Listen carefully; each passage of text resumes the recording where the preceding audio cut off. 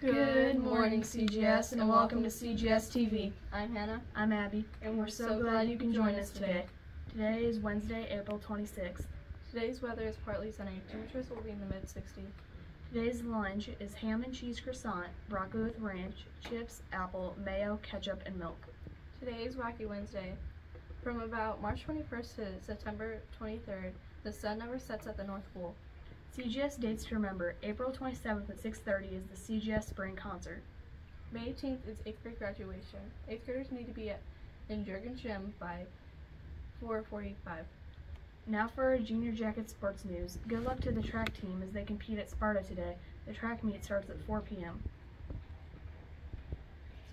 Your Daily Act of Kindness Challenge is from Brooklyn and Mrs. Sermon's fourth grade class. Brooklyn says to be nice to your family. Today's quote of the day. Keep your thoughts positive because your thoughts become your words. Keep your words positive because your words become your behavior. Keep your behavior positive because your behavior becomes your habits. Keep your habits positive because your habits become your values. Keep your values positive because your values become your destiny. Mahatma Gandhi. Thank you for watching and have a great day.